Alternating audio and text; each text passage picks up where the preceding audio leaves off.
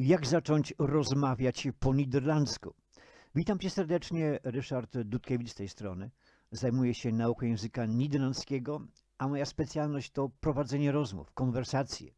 Jak się do tego przygotować? A co najważniejsze, czy możemy robić to samodzielnie? Jak samodzielnie nauczyć się budowy zdań, pytań, zaprzeczeń, jak zapamiętać jak prowadzić rozmowy? Nie jest to takie proste. Moja metoda jest bardzo prosta. Masz tylko jedną minutę. Co to oznacza? Że po każdej lekcji będziesz mógł mówić minutę po niderlandzku. Czy jest to możliwe? Jeżeli pomyślimy o naszych kursach, e, książkach, e, przygotowaniach, e, nie wydaje nam się to możliwe. Jednak kurs, który ja przygotowałem, umożliwia to. Zapraszam do Akademii po Niderlandzku.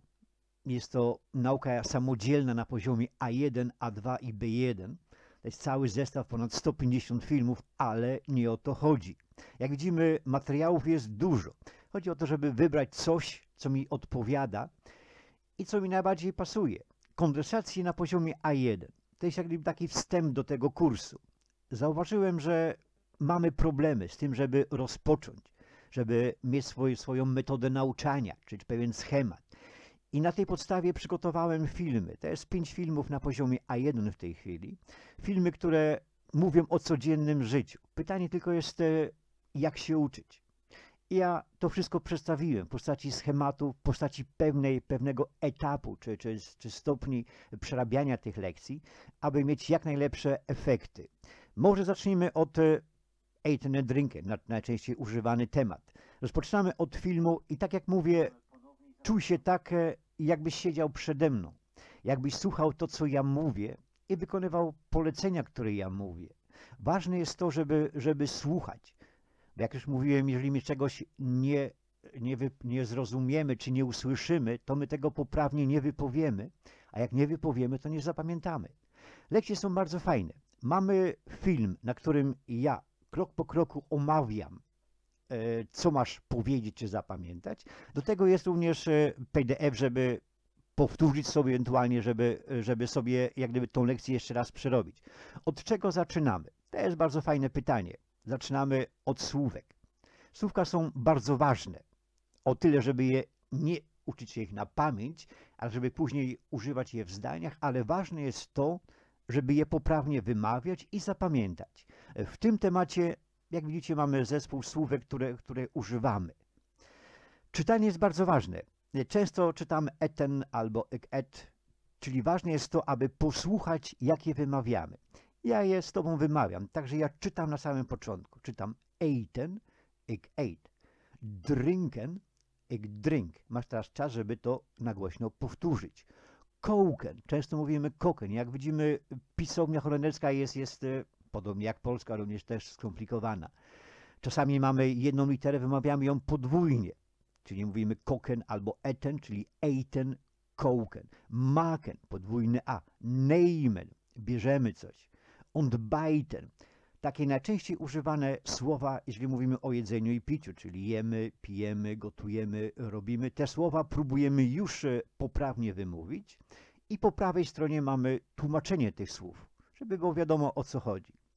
Hunger to jest takie to gardłowe ny. Hunger, durst, pragnienie, leke. Często to słowo znamy, często używane. Fynden, tu już mówię, że to fynden to jest takie, takie dmuchane f z takim powietrzem, jakbyśmy e, to wymawiali. To nie jest, to nie jest jak f, tylko f, fynden. Lusten, Sinn haben, mamy na coś ochotę. Hauden van, lubić, lieber. Ja tu omawiam nie tylko wymowę, ale też, też znaczenie tych słów, żeby widzieć o co chodzi. Kolejny etap jest e, taki, że mamy te słowa już tylko bez tłumaczenia. My je czytamy i próbujemy pomyśleć, jakie jest tłumaczenie. Czyli mamy eaten, drinken, koken, maken, nemen, ontbijt, het ontbijt, de lunch, hunger. Ja to wszystko czytam. I masz czas, żeby powtórzyć po mnie i pomyśleć, znam to słowo czy nie. Jeżeli nie znasz, cofać się na początek tego filmu. Ale to nie wszystko. Mówię, słówka są fajne, ale, nie, ale znając tylko słówka, my nic nie powiemy. Możemy, my, możemy próbować powiedzieć. Kolejny etap to właśnie to, co już wspomniałem, pierwsze zdania. Budujemy pierwsze zdania. Mamy czasownik eten, ik eet. Co jemy? Ik eten pizza, ik eten boterham, ik eet spaghetti. Możemy wszystko wtedy powiedzieć, ale musimy zapamiętać, że czasownik eten oznacza jeść, ma ik eet, zaczynamy od osoby pierwszej. Ik drinken, ik drinken, czyli ik drink coffee.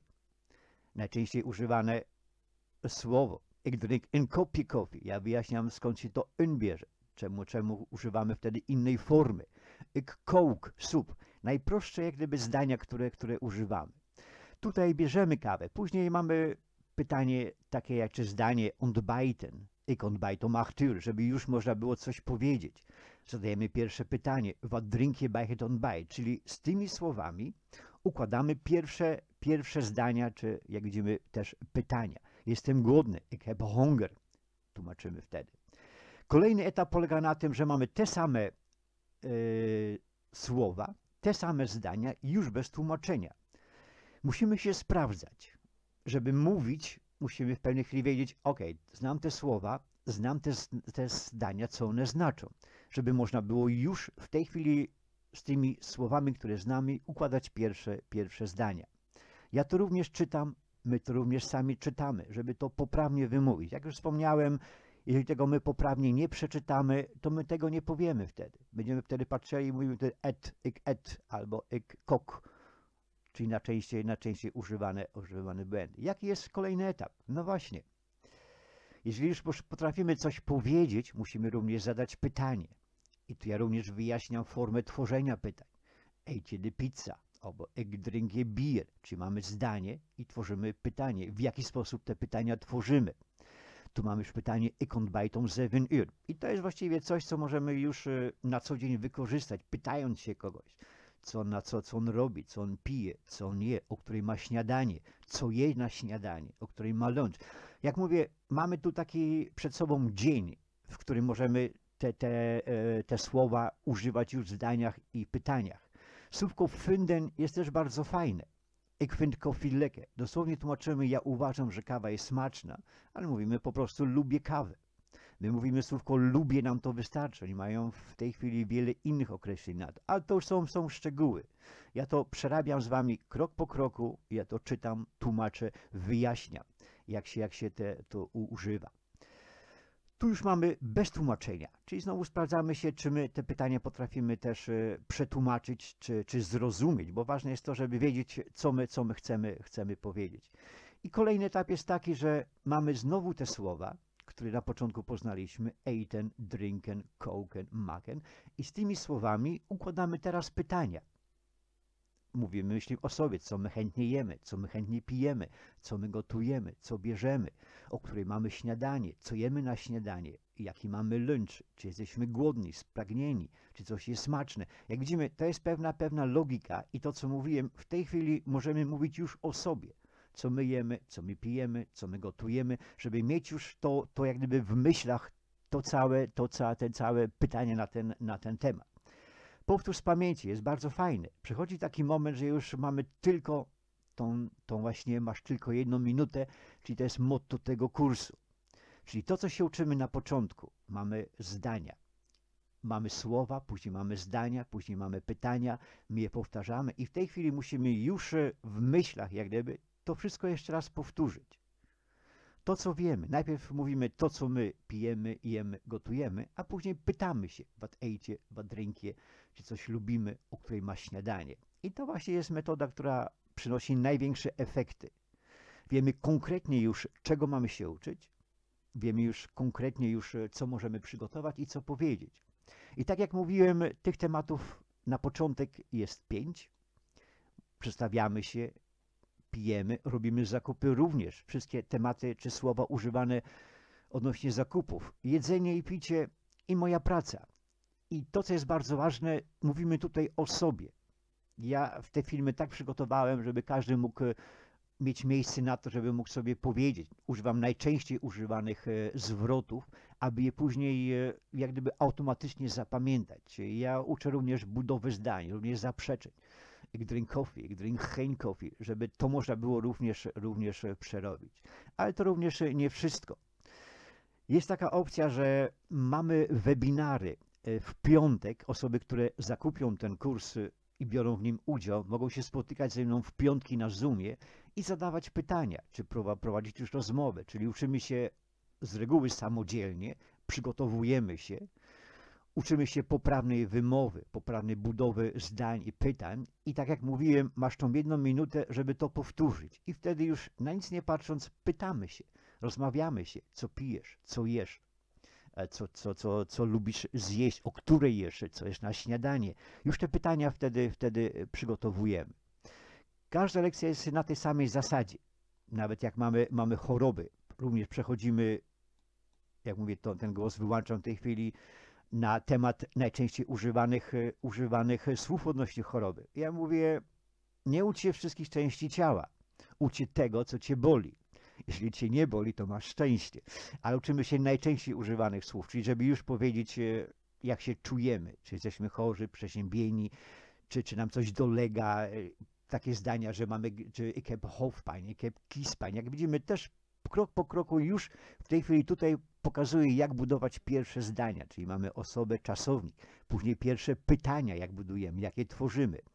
Później jak zaprzeczamy, bo to wszystko jest bardzo ważne w rozmowie, żeby y, poznać te mechanizmy. Możemy oczywiście robić y, wiele ćwiczeń, to jest też bardzo ważne. To jest też możliwe na kursie, który też oferuje, że jak już wspomniałem, można samodzielnie się uczyć, ale to jest e, trening na konwersację. To, co my w tej chwili przerabiamy, te pięć tematów, to jest konwersacja. Jeżeli te tematy poznasz, nie będziesz miał już później problemu, żeby, e, żeby się uczyć. Podobnie o pracy. Może jeszcze przedstawię na moment też, e, żeby już co o pracy możemy powiedzieć. Posłuchać, powiedzieć. Mamy kolejne znowu słowa. Tak jak mówię, słówka są ważne po to, żeby je poprawnie wymawiać. Czasami jest trudne, ale co jest trudne? Jak to słówko wymówimy? Moeilijk, oczywiście. Legwerk, mamy fajną pracę, mamy kontakt, żeby można było już odpowiedzieć na tym. I później pytamy się, czy lubimy swoją pracę, czy później mamy coś w pracy zabronione, co jest obowiązkowe, jakie mamy obowiązki. Także to są tematy najczęściej używane. Tych opcji jest więcej, ale od czegoś trzeba, trzeba zacząć. To byłoby na tyle w takim razie. Zapraszam e, na kurs. Można spróbować. Odnośnie pytań można również je, je, je zadawać i na webinary. Jest grupa na e, Facebooku.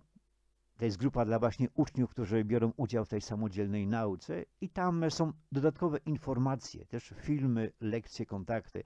Także uczysz się nie tylko samodzielnie, ale masz i moją pomoc, i tych, co się, co się również uczą. Dziękuję bardzo w takim razie. Zapraszam na kurs i życzę Wam miłego dnia i powodzenia w nauce. Tak jak mówiłem, e, ucz się efektywnie. Już po każdej lekcji możesz mówić, rozmawiać i to jest właśnie metoda, którą w tej chwili oferuję. Noch een fijne dag. Miłego dnia.